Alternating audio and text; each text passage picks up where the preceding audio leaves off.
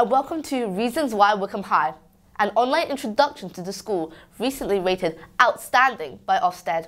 I'm Zairu, currently in Year 7. And I'm Mediha, and I'm also in Year 7. Today is your chance to get to know a little bit more about our school and discover just some of the reasons why Wycombe High could be the perfect choice for you. And coming up, we have a Q&A session for you featuring our head teacher, Mrs Nicola Renyard, who joins us now. Welcome, Mrs. Renyard. What would you say to anyone thinking about joining Wycombe High? Well, I know that we'll have lots of year fives and their families logged on to the webinar that we're running about reasons why Wycombe High. So that's a great opportunity to ask questions and learn a bit more about Wycombe High School. And really, I suppose the main advice I would give to anybody considering a secondary school is do a little bit of research, a bit of investigating, have a good look on the website um, of our school, lots and lots of information on there. I mean, we are so very lucky to have weekly news updates um, from our Wycombe High TV crew um, and students presenting every week with things that are going on in school. It gives a great sense of what we're all about here at Wycombe High. But also come and visit us. Um, we run open mornings. Um, you can find out the dates of those on our school calendar and we'll have many coming up um, in the new academic year um, for families to visit and students have a good look round. And we always endeavour to do that during the school day so that anyone visiting us can see exactly what it's like to be a student here at Wycombe High. Wonderful. And if you had to pick three aspects of Wycombe High that make the school so special, what would they be? Three things. Okay, that's quite tough just to say three things, but I think I think my number one would have to be, and I say this to people all, all of the time actually, the greatest asset that we've got here is our students, um, without a doubt. They're caring, they're courageous, they're um, thoughtful and sociable and fun and intelligent. And I could go on and on describing them. But also, we've got 1,322 students here. They are all absolutely unique. And I was really lucky um, earlier in the summer term to go on a school visit with a group of 98 of our year 10s to Madrid. And it just confirmed for me what I see every day when we're here in school and in the classrooms about how fantastic our students are. So that would probably be my number one thing about the school. And my number two, closely linked to that, I think, would be the relationships. I mean, we have amazing relationships here at school. We, we're a real community and we're a diverse community. I've already said all of our students are so different. All of our staff are really different too. But we like to work together, students and staff, and we, we love that those relationships are really positive. And also our parents as well, they're a part of that community too. Um, so relationships and the community that we have here at Wycombe High School would probably be my number two about the school. And then number three, I mean, wow, the opportunities on offer here at Wycombe High are incredible. Um, I mean, I've never been in a school before that has the opportunity to record in a TV studio um, with Wickham High TV News. I mean, that's amazing. But also, um, there's so many other opportunities for students in clubs and societies and I'm sure you two do lots of them um, during the week, during your lunch breaks or maybe after school. Um, and I've noticed your badge here um, that you're wearing, which you must have got from our awards evening um, for art. Um, there's just so many opportunities on offer and we try to create an environment where students want to take those opportunities and are really excited to try new things or to do things that they already enjoy and that are really, really fun for them. And, of course, the school was recently ranked outstanding by Ofsted. This must have been a very proud moment. It was an incredibly proud moment, and um, I think something that all of our school community feels really proud of, and very definitely an achievement which everybody has contributed to. And we have enjoyed celebrating that with our staff and with our students too. Um, we had your ice creams the other week, um, which was really lovely. Um, lots and lots that um, the Ofsted inspection team noticed about the school in the two days that they were here, um, which we were really delighted with. But I think one of the standout things for me, and it links to some of what I've been saying about our school already, is when they said that our students are really instrumental in leading sort of that diverse and inclusive culture that we have here and that the students said that they were so proud to be a part of. So yeah, we're really, really delighted with that outstanding outcome. Thank you so much. Mrs Renyard, enjoy tonight's Q&A. Thank you. Well, Mediha, our work here is all but done. Yes, that's it from the two of us. But don't go anywhere just yet. because our head teacher, Mrs. Renyard, and some of her team will be here to take your questions right after this short video tour around our school.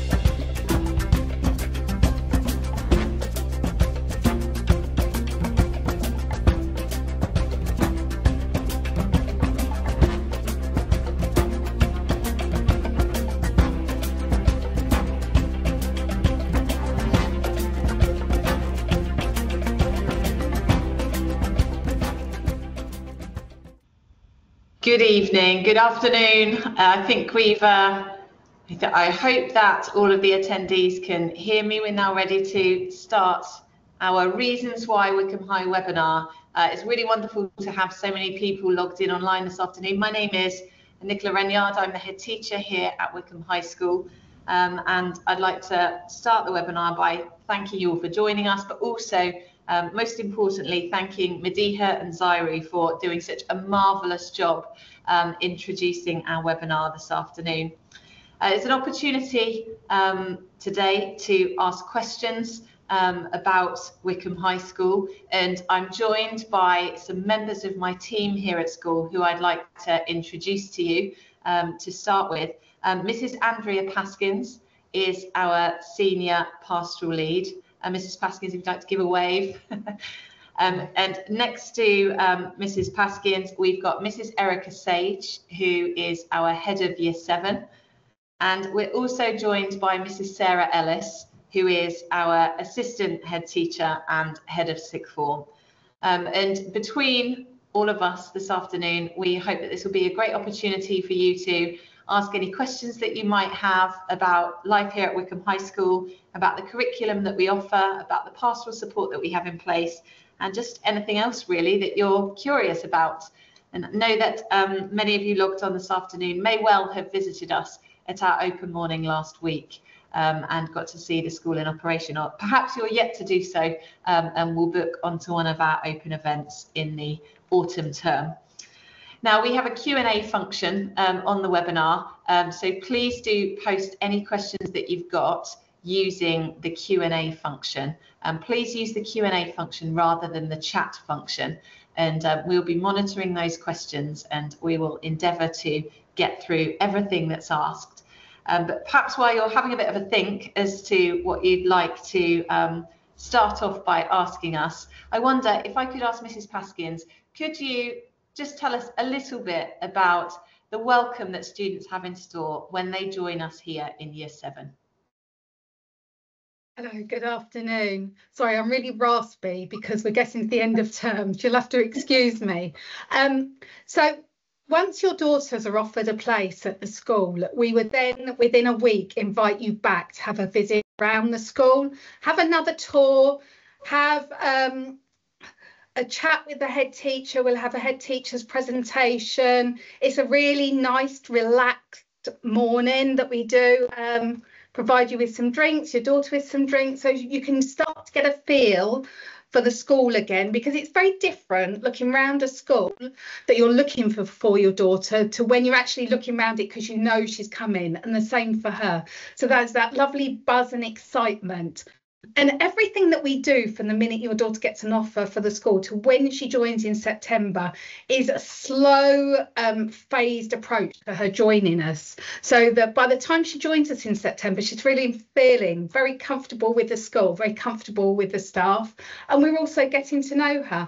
Um, we will then visit your daughter in her primary school um, where she's comfortable. We have a little chat about what she loved about her primary school, what she's looking forward to Wycombe High School, um, and her hobbies and her interests. Um, we will send videos home to you and your daughter weekly um, with little updates about either what we're doing, it might be staff that we are um, going to introduce her to. Um, the year sevens this year have absolutely loved filming their top tips for the new year sevens, which has been delightful. Our heads of department have been busy um, filming stuff about the department, what the year sevens are going to be learning in September in the departments, which has been actually really fun for them to do. And because they've enjoyed it, the videos that are going home are going to be fun and enjoyable for the girls joining. It actually became a little bit competitive because um, as teachers, everyone wants to have the best video. So once they started coming out, more were coming out. We will hold an induction evening for you and your daughter. So we tell you a little bit more about the school, how you can support your daughter joining the school whilst your daughter um, is with her new classmates um, and having some team building and getting to know you things. And then we have an induction day, which actually happened Tuesday this week, where we invite all the New Year Sevens into school. They have some taster lessons, a mini assembly. They get to meet their new tutor groups, um, do some activities on the field, we provide them with a lunch so they get to taste a little bit of what we provide in our dining room, and then they have some fun entertainment to round the day off. And then just to end the um, transition process, we offer a summer camp in um, the first week, well, last week of July, first week of August, depending on where the school holidays fall, where they can join us for some sports activities, a little bit of music, a little bit of drama, or they join us for the first time in September. And even going into September, part of this settling in process is they come in a day earlier than everyone else. There's just them in year 12. Um, we give them some maps to find their way around the school. We teach them how to read a timetable. We show them how to use devices and link to our teams. And then on the third day, we have a team building day, again, in groups that we've made to just really get them chatting and getting to know people. And then they start full time. It's a it's a real extended transition, I think, really, isn't it? Which you've given a, a really great sense of there, um, Mrs. Paskins. And um, we're sort of very conscious that that move from primary school to secondary school is a very big one um, for our students. We, we have students join us in year seven from over 60 different feeder schools. So it's sometimes the case um, that our students that join us in year seven are just, you know, maybe one of very few, sometimes the only one um, who is coming from their primary school. And we, we do have a question there about, you know, the, the greatness of that step and that transition and how do we support our students here to settle in and build those relationships with their classmates and if I could sort of come back to you, Mrs. Paskins, and maybe bringing Mrs. Sage in a little bit there, because the transition you've described, it sort of extends all the way through into year seven, doesn't it? Because it can take some time for new students to settle and to find those friendships. Yeah, so once they come into school, we, you know, we're already doing, as I explained, the first things on their first three days, but then we're then looking at, you know, how are they interacting with people at break and lunchtime? Those key times when you might find yourself on your own. In the classes, you're paired up and we're doing activities, but it's the downtime so we're out and about, we're keeping an eye on students, we buddy students together that we find on their own. We encourage students to join our clubs. We've got over 100 clubs at Wycombe High School. We're really, really lucky. Um, and maybe Mrs. Sage can talk a little bit about some of the clubs we've got that yeah. they do. Thank you, Mrs. Paskins. Um, I really feel, as far as the clubs and societies which we have at Wycombe High School, that there is um, or I was going to say something for everybody, but more than one something for everybody. Um, we have such a range of clubs, and many of them have been suggested by our students. So we're very much student driven from that point of view.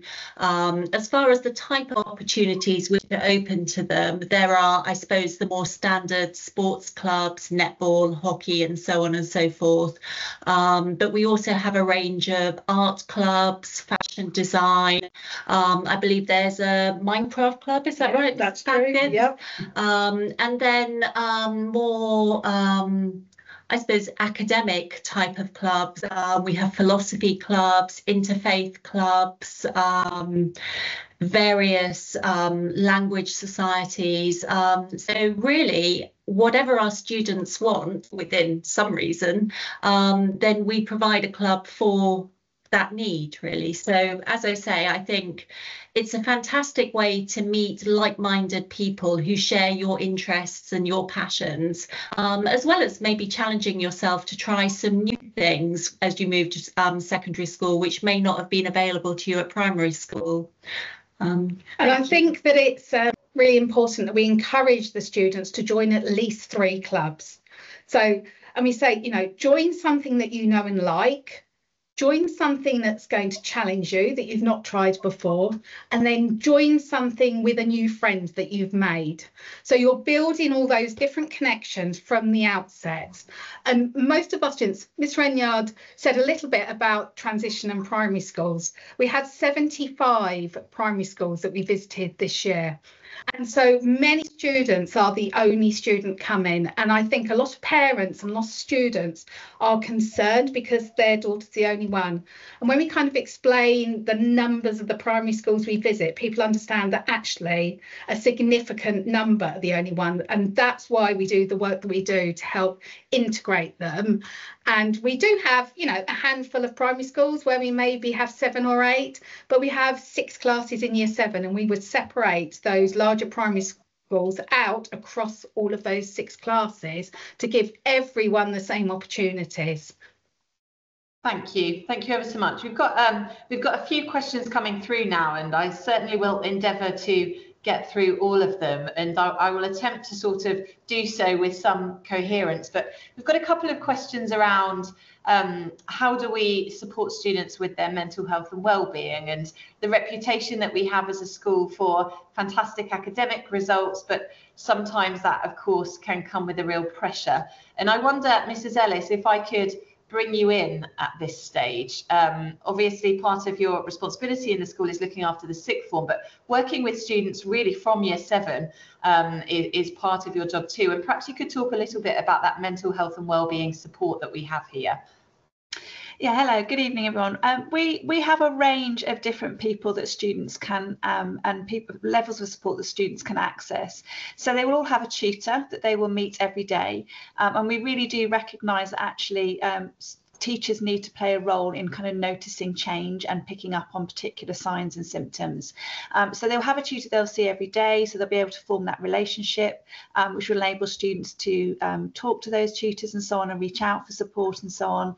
Um, but we have a real network through our pastoral team of people that they can access support from. So obviously we have our heads of year, so Mrs. Paskins um, and Mrs. Sage.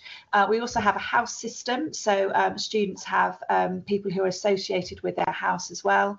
Um, but on top of that, we have a really close network of student support um, um, staff who actually work very closely with students. So students feels unwell, they can go to student support and they can talk to them and maybe seek a little bit of advice from them. Um, that all links together. So the student support will talk with heads of year and so on, pick up on particular bits of information. But on top of that, we also have um, a mental health lead within the school and a team of counsellors as well. So if we feel that a student is really struggling or, or might benefit from some additional support, um, we do enable them to meet with our counsellors. Um, and so there's a range of different levels actually students can access. Um, on top of that, I'm also one of the safeguarding leads. So if a situation is, is particularly problematic or a student is actually um, in need of particular care and help, um, there's a lot of external agencies that we can also work with um, alongside parents and so on to make sure that that student actually is comfortable, um, is safe, and also can thrive academically. Um, one thing I would say is all staff are vigilant to everything and everything um, around our students. So uh, we really do notice and, and take care. Um, so if there is something, we will reach out to the student, but also we'll reach out to you as well um, to make sure that we're providing the best care possible for each individual. Thank you, Mrs. Ellis. And um, sort of with, with regards specifically to the how do we ensure that our girls fulfill their potential without feeling pressured? I mean, it's fantastic um, to see the amazing results that our students achieve, but that is really not what drives us here at Wycombe High. Um, we consider it to be our responsibility to make them successful lifelong learners to feel comfortable and happy and willing to step slightly outside of their comfort zone to take risks and so we talk about taking responsible risks and if they are able to do all of those things then great results will follow and as a part of that we have that sits alongside our curriculum learner characteristics and they are a big part of our recognition and praise system. So our students receive positive points for our learner characteristics, um, which are about being reflective um, as a learner and as an individual. They're about showing bravery and courage, um, sometimes in the face of adversity and sometimes just in the face of the day to day. sometimes it requires a bravery to, you know, put, put your hand up in a lesson um, when you're not quite sure of an answer. Um, but we also um, celebrate creativity in their thinking, um, their resilience. Um, so that's that's one thing that we have in place to try to limit some of those pressures that they might feel on themselves academically. Um, Mrs. Ellis, um, we had a question reasonably early on about art, and you are also one of our art teachers. So yes. if I go to you to answer that one. Um, so students in year seven come to us with a range of different experiences. So they'll normally have um, three lessons across a fortnight um, in art within their learning group. Um, and during those sessions, we will go through um, what we call the elements of art. So they'll have exposure to a range of different working practices and media, both two-dimensional and three-dimensional. Um, so what we're trying to do is build up the skill set so that really kind of empower them to take chances with their work and to just really enjoy the process of being creative. Uh, there's a number of clubs as well. So Year 7 Art Club is exceptionally popular. Um, it's often run by our sixth form art students as well. So outside of the curriculum, there's lots of opportunities for them to be creative. Um, competitions, uh, Christmas card designs, a range of different things really to just make sure that they're, they're enjoy, able to enjoy art um, and to really thrive in that subject we recently had a showcase actually didn't we where we commandeered the entire library to showcase our uh, GCSE and A level um, final um, exam pieces, which was absolutely incredible. Um, some very, very talented artists here at Wycombe High.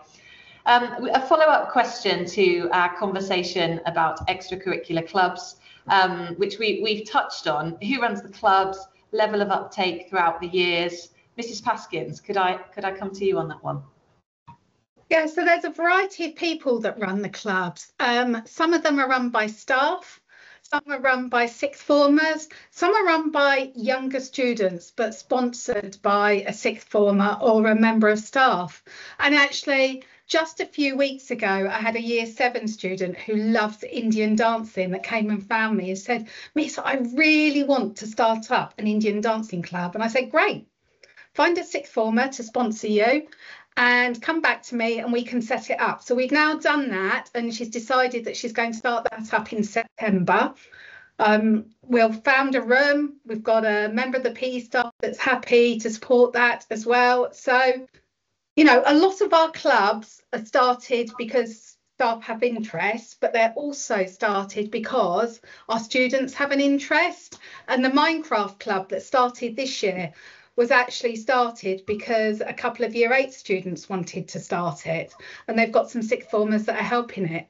So, you know, there's such a variety of clubs and interests that our students have, and it's just great to see everything. And in fact, this year we had a sign language club starting up because someone had one of our students had run a course, they'd done the course, they were excited about it, and they wanted to share it with others. So we're open to new ideas all the time. We try and keep up with the times and the popular things that are going on, you know, and also with the staff and the interests that our staff have.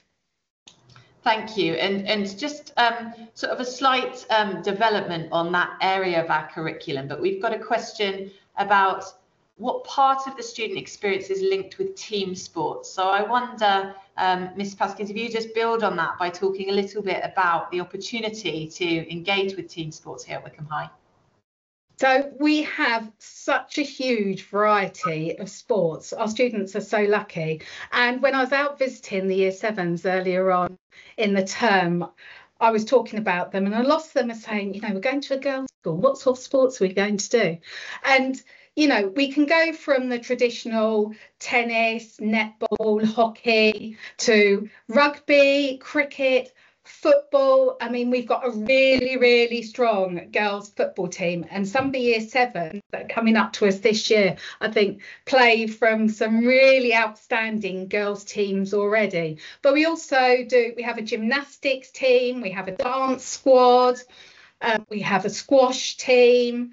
There's something out there for everyone. And where there are more girls interested than we currently have, then we can build teams around there. So we really do include them all and encourage everyone to join. So you might not have um, done the sport before. We have Ultimate Frisbee, which from my understanding, unless one of my colleagues can correct me, is like normal frisbee with tricks.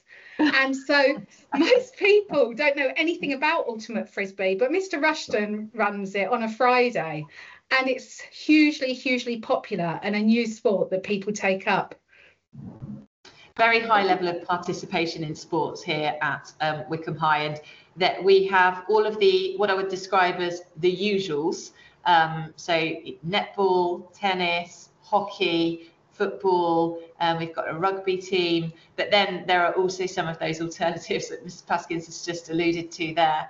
And um, we also have an elite sports program. So where we have students join us um, with a particular talent or where their talent within a particular sport emerges whilst they're with us. Um, we have a program which is run by our sports department, um, which has enhanced support for them. So thinking particularly of students who have quite significant training commitments outside of the school day, and how can we support them with the demands of that um, sporting um, commitment alongside um, the commitments of their schooling. Um, we've got a couple of questions in here about the use of technology um, and how we um, ha uh, whether or not classes are streamed. So perhaps if we start with the technology um, side of things, Mrs. Um, Paskins, Mrs. Sage, students all join us with a device. Do you want to say a little bit more about that scheme? Okay. Yeah. Okay. Um, so we ask all our students to um, have a tablet when they join Wycombe High School, and one of the things which we do as part of the induction program with them in the very early days is get them connected to the school internet um, and get them onto our Teams system and explain to them how it all works. Whilst many people are familiar with Teams and a lot of people have used them in their primary schools, not everybody is coming with the same breadth and depth of knowledge. So we very much as part of the induction program make sure that everybody is understands fully how to use them. As far as Teams, we communicate a lot of our year group information through Teams, and every year group has its own Teams page, which can be used for many different reasons from the perhaps mundane communicating room changes, but also in terms of building that team spirit, that year group spirit, um, and letting people know about various competitions and so on and so forth. Within the classroom, um, well, we live in a technological world and our teaching in our classrooms, I think, very much reflects the world we live in. However, we use technology where it is appropriate, um, not just for the sake of it. Um, many different subjects use various um, subject specific apps within their classroom. And again, homework um, can be set and often uploaded through the team system. Mrs. Paskins, have you got anything else you want to add? I think you've covered it really well. However, I, I would say, you know, when the girls join us, we spend quite a bit of time teaching them how to get on their devices, how to use their devices, and how to use them appropriately. So, as well as you know having a new device and coming into a school we do some pshe lessons about online usage and keeping yourself online safely to link with everything that we're doing in school because the students do take their devices home, they use their devices to do their home learning at home, but they've suddenly got access to this worldwide web and apps. So we do support parents with that as well. Um, we, uh, actually, just oh, sorry, sorry, Mrs. Sage, please go um, on just picking up from what Mrs. Paskins was saying, um, obviously they use their tablets within the classroom, but we ask that students during the school day that their mobile phones are switched off and put in their lockers, because we're very much following on from what we were saying about clubs and societies. We want them to be spending their break time and their lunchtime interacting with their students, so looking up and out at the world rather than down at a device in their hand.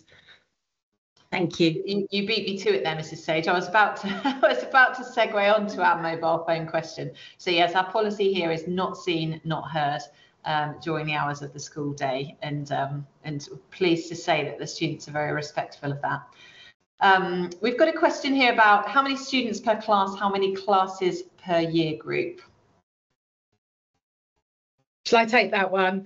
Um, so we have 192 students joining us in year seven. We have six classes, 7A up to 7F, and 32 students within that class. And our students stay in that class for year seven and year eight. In year nine, they start to pick up some of their option subjects. So some of the classes will be in what we call their learning group. So that's 7AB or 9AB when they're in year nine. And some of them mixed for option subjects.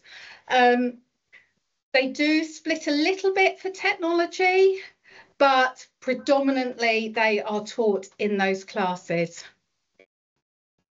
Thank you, Mrs. Paskins. And Mrs. Ellis, I don't know if you wanted to sort of add on to that for when they reach the sixth form end of the school. Yeah, well, we obviously, um, you know, the, the complexity of what they're learning increases and so on at A level. So we cap the class sizes to 22 uh, for majority of subjects, but practical subjects um, like art, music, PE, um, and technology are capped at 20, but equally the sciences.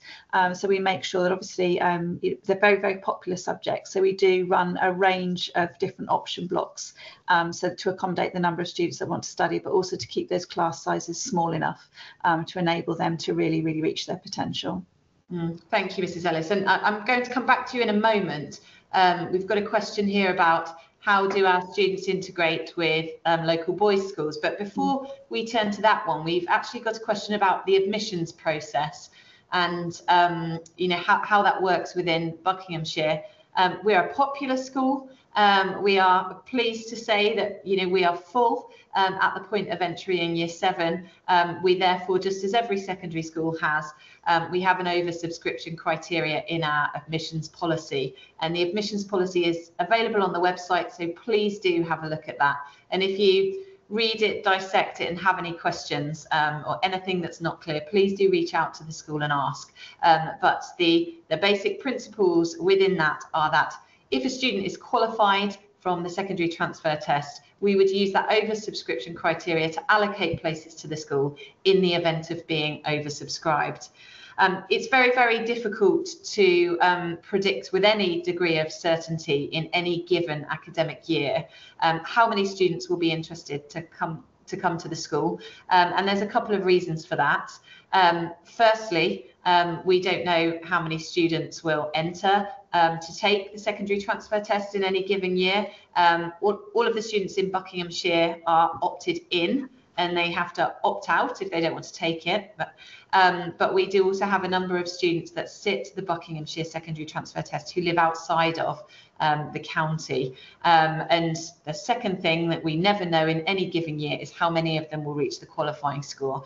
Um, so you can um, look on the Bucks Council website um, to see how far out um, we have taken students from in previous years. But please just bear in mind if you're looking at that data that it can fluctuate year on year. Um, with regards to the secondary transfer test itself, um, Buckinghamshire, of all of the selective counties nationally, is one of the least selective in terms that you just have to reach a qualifying score of 121. The, um, the degree um, to which you uh, secure, secure a score that is higher than 121 is completely irrelevant to your qualification. You're simply deemed qualified or not qualified. Um, and there are processes in Buckinghamshire whereby if you don't achieve the 121, um, immediately after the secondary transfer test, there is something called a selection review process um, where you can um, submit um, evidence to suggest that that test score was an anomaly um, and there are mitigating circumstances. And then beyond that, there is the right to an independent admissions appeal. And there's further information about those processes um, on the Bucks Council website. and, and it is well worth reading up on those and being confident that you understand um, the admissions processes in Buckinghamshire because they are unique um, to other counties um, that operate different systems. So I hope that answers that admissions question there.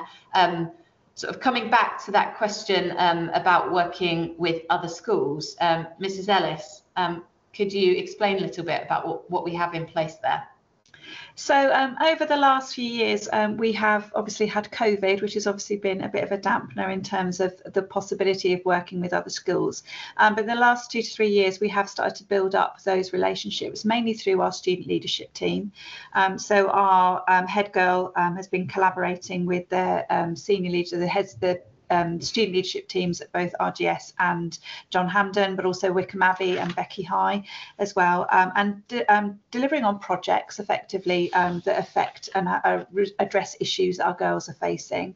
So recently had a very successful project um, running with the boys' schools around toxic masculinity. We've had students coming into school, and our girls have actually gone and delivered uh, workshops at John Hampden around their perception of, of that experience of being on a bus and, and, being surrounded by boys and some of the talk and um, experiences they might have.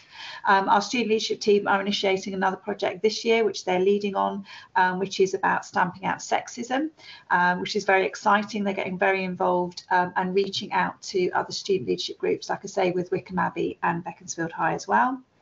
Um, but we're also very excitingly getting together with um, John Hampden to deliver what we call elective sessions through our Futures programme. Um, the Futures programme is something that runs alongside uh, their academic study. Um, it involves every Wednesday afternoon um, them coming off timetable um, and engaging in activities and groups and so on that will help prepare them for the world outside school. so looking at life skills, looking at how to become a global citizen, but also focusing on areas of interest and so on to our students that will support their A level, so post 18 applications. Um, so from next year, students will be getting together with students from John Hampden um, every Wednesday afternoon in particular areas, um, based really on sort of like almost like a club scenario uh, where students will be investigating a particular topic or issue uh, within a certain area. Um, and there's lots of other things that we're planning as well um, in terms of collaboration um, to, to roll out to sixth form students um, and students coming up the school.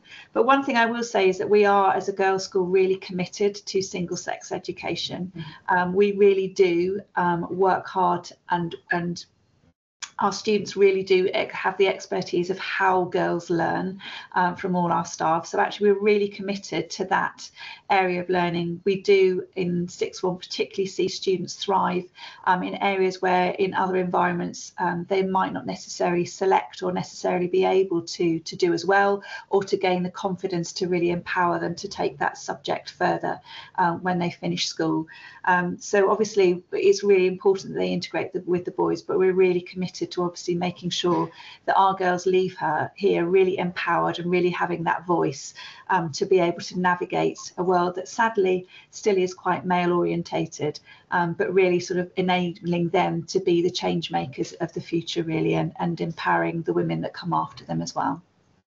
Absolutely, and that I think there was a recent news story, wasn't there, about the um, significant drop in the number of students opting to study, um, female students opting to study computer science. We're very proud that here at Wycombe High we're bucking that trend um, with record numbers um, of students choosing that and other um, traditionally male-dominated subjects such as physics and mathematics. Um, but as you say, Mrs. Ellis, yeah, great opportunities for collaboration too. And we recently enjoyed a fantastic musical production um, which involved our students and students from the local boys' school. Um, and we actually every other year alternate with John Hampden to host that musical and our students performing that together. And we have a question on the feed here about the music offering. Um, there are opportunities to be involved in those sorts of productions. For the first time this year, we've got a musical theatre club, which has grown and grown in popularity through the year and performed now at several different concerts that we've hosted this year. Um, but we also have a variety of different bands and orchestras um, as part of the music offering. Um, we have a concert orchestra, we have a wind band, we have a jazz band, we have guitar ensembles, um, and, and then students performing as solo artists as well. And so the musical offering is, is quite um, significant. Um, and we there's also the opportunity for students to have peripatetic music lessons um, here with us um, if they'd like to. Um, very proud of our music curriculum. All of our students at Key Stage 3 have the opportunity to learn a brass instrument um, and they're then invited to perform in our junior concert um, having learnt that. Many of them stay on um, to continue learning the brass instruments that they've been introduced to as part of their curriculum study. Um, and it's a it's a fantastic and vibrant offering. One of my favourite things to do, in fact, is uh, go to go to our music concerts through the year. It's absolutely brilliant. Um, educational visits. Um, Mrs. Ellis, you have been coordinating our educational visits this year. Do, do you want to give a bit of a flavour for the type of offer that we have? Because it's a mixture of day and residential visits at different points in different year groups for different subjects. Yeah, definitely. Um, you know, there are a range of opportunities, and I think you know one of the things that we also do is we have a number of events that go on in school. So the educational visits um, uh, um, program is not the only opportunity students have to engage with their subject um, and personal development issues outside of the curriculum. Um, so, like Mrs. Renyard said, we have a, a diet of uh, day visits, but also residential visits. Um, we try to make sure over the course of their experience of their whole Wycombe High School journey, um, every student will have the opportunity to engage in a range of different activities or opt into those activities.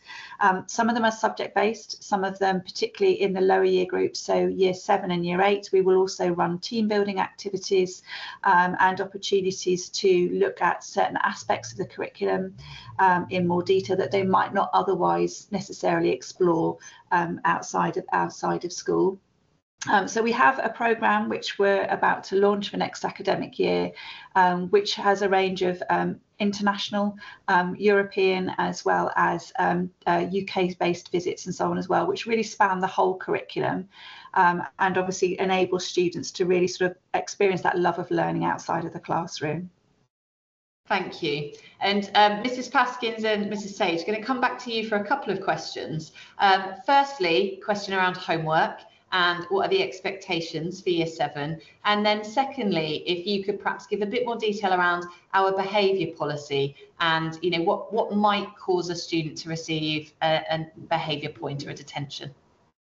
So we'll do homework first. Um, Year seven have approximately an hour a night for their home learning. Um, it's very dependent on the subjects they have. So for something like English, they would have one hour a week. Um, for something like art, they might have one hour a fortnight. Maths, they could have 20 minutes after every lesson. So it is very dependent on the subject and how the subject set that. But on average, it's one hour a night. And we don't set home learning for the sake of setting home learning. We want to do it so that it's, you know, it's continuing with something that they've done in their lesson or they're revising for one of their language uh, tests. So we're not just setting that for them and we don't want to give them too much. They're young, they're just picking up into year seven, they're starting school earlier, they're having to travel here. So, and we generally keep that home learning for year eight as well, and then it builds up a little bit into year nine. And just whilst ta- touching on languages, I think there was a question about languages. In year seven, your daughter would study Spanish, French, and Latin. And that would be the same for year eight before she then picks her options up for year nine. In terms of behaviour policy, we have a very robust behaviour policy. It's on our website for anyone to see. Um, year seven, they would get a behaviour point maybe for um, incorrect uniform, or if they were set home learning and they hadn't submitted it, they'd get a warning. And then if they didn't submit it again, they might get a behaviour point. Um, what else would they do in year seven? Maybe a student that was late. Do you want to yeah. talk a little bit about yeah. late? Um, we recognise that the importance of being on time to school and the effect, the negative effect that five minutes, 10 minutes late in the morning can have, not just for the individual student, but to the whole class, and exactly how much learning they can lose over the course of the year. Um, as a result of that, we have um, a policy that if a student gets three or more late marks um, for period one within a half term period, then they will be put in a pastoral detention, which is a 30 minute lunchtime detention on a Friday. With all of our behaviour policy sanctions, they are designed to give students the opportunity to reflect on what has gone wrong and to change their behaviour moving forwards. We're not punishing for the sake of punishing, we're giving students an opportunity, as I say, to reflect on, on what has happened and change that behaviour moving forwards. Um, and again, that's the same with um, behaviour points for forgetting to hand in homework and so on and so forth. A lot of our policy is focusing on the positives and providing positive points to our students. Um, and we've found with um, our policy regarding late and also if a student gets three or more behaviour points in a half term they get a pastoral detention. And we found it's had a very very um, positive effect on students timekeeping.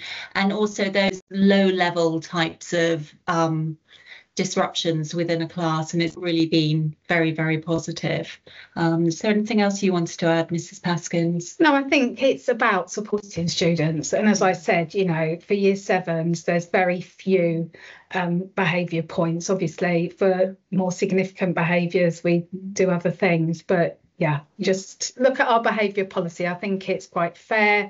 Um, it's there to support our students and to talk and discuss things and help people to go in the right direction. It would be um, it would be misleading to say to our parents and totally false that you know students never have a behaviour infringement at all. And uh, it, there is much in the press, I think, at the moment, particularly post COVID, um, about students' behaviour in schools. We're very fortunate here that our students are um, incredibly well behaved. They display incredibly positive behaviours for learning, um, and we, we believe that to be, you know, in, in large part because we create an environment, you know, where they're enthused, where they're inspired to learn, but also um, because we have a policy which is clear and consistent, and which also makes reasonable adjustments, you know, should should they need them um, for any sort of reason. Um, now we've got a question here about um, if a student is perhaps struggling with a certain area of the curriculum, struggling in a certain subject, which can of course happen, you know, at any point um, in their school career. Mrs. Ellis, could you talk a little bit about that intervention work which we might use to support a student with their work? So um, we work on the basis of, of quality first teaching. So actually what we really aim to do is to make sure that our teaching is responding to the needs of each individual student. So a, a subject teacher will usually pick up on something in the classroom if she if she sees that a student is perhaps not understanding something um, you know or perhaps through just routine checking understanding might make a note of it might actually kind of follow up at another stage um, if somebody was concerned about um, a student's progress what they can do is perhaps have a chat with a tutor, have a chat with a student to find out if there's any um, particular barriers to their learning, if there's any reasons why they might find be finding something more difficult. Um, then that might be that they would speak with their subject leader, so the teacher might seek advice from another teacher. Um, and then if there was a problem with it, but there's a range of different things that we can do. Um, so it might be that the head of year might um, reach out to other subject areas to find out if there was a problem with um, in other subject areas and so on as well. But what we would be doing is look, making it very focused on the students' individual needs. There's a range of different people who would be involved. Um, we might speak with our individual needs team. We might um, actually have a conversation with a parent and so on as well. So the intervention that we do is very student led.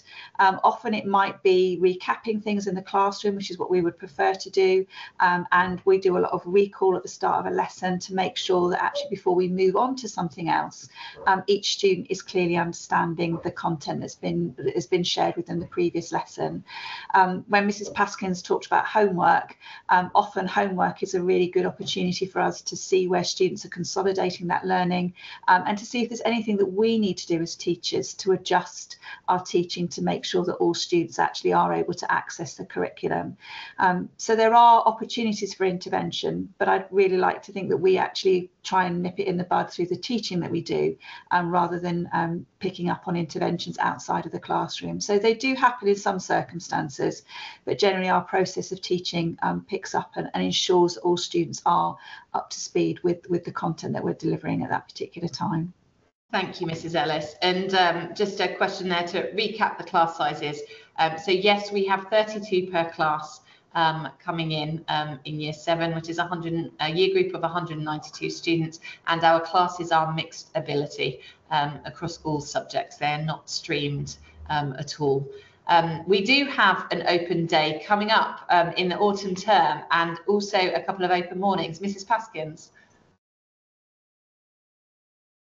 Yes, so once we get into um, the end of September, October, we've got some plenty more open mornings actually coming up for you to come and have a tour of the school. Some of them have um, head teachers talks to them as well. Um, it's just a great opportunity. If you haven't visited the school yet, it's such a lovely opportunity to come and see the school and see a normal working day. Our open mornings are as every day is. We extend the first lesson slightly just to ensure families can really get round and really see the whole site. So normally our lessons would be one hour long and we extend that by an extra 25 minutes. But you get to walk in and out of the lessons. You get to see our teachers teaching classes. They're the classes that they're normally teaching at that time. We're not changing our school at all. We're not trying to show our school in a different light. You get Wycombe High School as it is, and that is what we're really proud of. You know, seeing our students engaging, seeing our teachers interacting with students, and hopefully a sunny day, seeing the school shining. Um, we've been very lucky so far. Most of our open mornings have been in nice weather, but it's you know is going to happen but it's just a great opportunity and our primary schools are more than happy for you to take your daughter out to show them a secondary school because your daughter's going to come here and she needs to see what the school looks like so you can have those conversations with her. I don't know did you give the date there mrs paskins of our open open day? Don't know um, if you've got I'll, that in hand I'll have a check and I'll get back to you if that's Thank okay. Thank you so much. But um, we, we will pop that um, pop that into the chat feed. Um, we just don't want to make sure we're giving you the correct date for the new. It's obviously on our new academic calendar for the new school year. But we have the open day as Mrs. Paskins has described there. Um, but we also have two further open mornings, um, which are before the deadline for submitting your secondary school application. So three opportunities in total um, to visit us in the autumn term if your daughter is heading into year six um, ahead of having to complete that secondary school application by the 31st of October. Um, and the open day itself um, is the opportunity to hear from me um, and to tell you a bit more about the school and then to tour the school. And our open mornings um, are the opportunity just to attend um, a tour of the school. Um, we have uh, another question on the chat here. I think we've covered off the, the homework ones that have come through there, but um, do we have a cricket team? Yes, we do.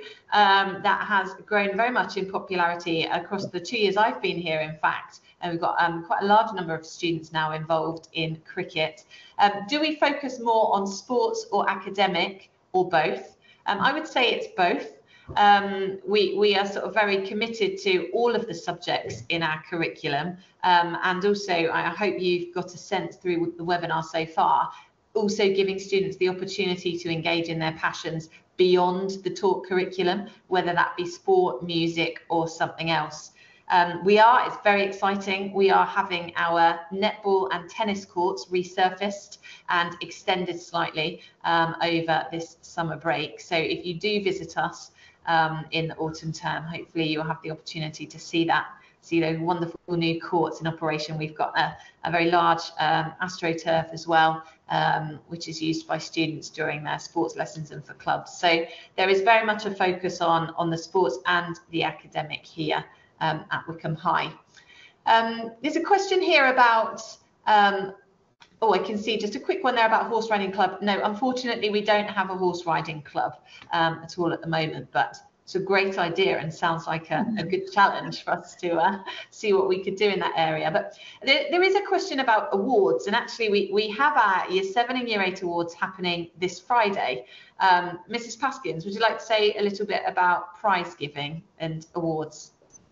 Yeah, so that we do a lot of awards throughout the year. It's really good to recognise our students, and that can be we're recognising them for academic progress, for commitment, for lots and lots of other things, sporting. And I just wrote a few notes down actually when I saw that question to start to summarise it. Um, so you know, it can be house points, it can be praise on a postcard, it can be award evenings like we've got coming up tomorrow. It can be house awards. We recognise a star of the month for each house. Um, we've just had arts awards evening. We've had sports awards evenings. Um, we have sports day where we recognise students for their um, sporting as well, and everyone gets involved in that. And the awards that we have tomorrow are based on, you know, looking at students that are brave, you know, looking at our learner characteristics, people that are independent learners, and our teachers will nominate a number of students and then they will get an award for that as well. And we look at lots and lots of different ways that we can do that and recognise students throughout the year. So there's no particular one time that we're just going to be awarding people. Thank you ever so much, Mrs. Paskins. Um, just checking to see um, if we've got any other um, questions coming through there. We do actually, we have a wonderful reunion, don't we, Mrs. Ellis, with our year 14s? Yeah. Um, after they have left us and, and coming back. Yeah, well, we have in in year 12, we obviously have our GCSE prize giving. So we have our year 12s um, parents invited in to come and collect their certificates, but also we recognise uh, particular achievements um, within year 11 um, in the they from year 12 sorry when they were in year 11 so we look at our learner characteristics as well there. And then like mrs Renyard said we have a fabulous evening um, in december where our new our year 14s come back. So just having started their first term at university uh, they come back to again collect their certificates. But we have a range of different prizes and cups and so on um, that are for a range of different um, activities some of them academic but equally recognizing um, things like unobtrusive support um, and you know team leadership and so on um, you know working through visit, uh, particularly difficult times and so on so we have a range of awards there and it's it's a fabulous evening to get back with our year mm-hmm. year 14s and find out what they've been up to it was very enjoyable and we we have a strong culture here of students returning to a returning to to our current students about the wild and wonderful things that they get up to um, after um, they have left us here at Wycombe High. Um, we have just posted into the chat feed for you the dates of those open events in the autumn term. So if you'd like to note those down, they are in the chat feed um, for you. So Thursday, the 3rd of October is our open day. And there are open mornings running from 9 a.m. to 10.15 on Monday the 21st and Tuesday the 22nd of October.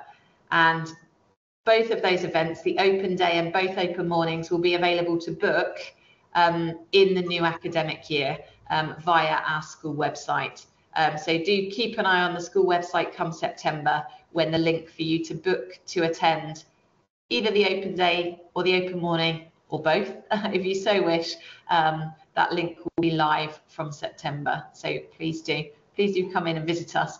Well, I think we're, we're nearly at the end there. Just, just one other quick question. Um, do we have a rope skipping club? Um, I don't think we do, um, but there was um, an incredible section in our musical Legally Blonde um, where there was a, a skipping, um, singing and dancing routine, which is maybe a good reason for us to start one up.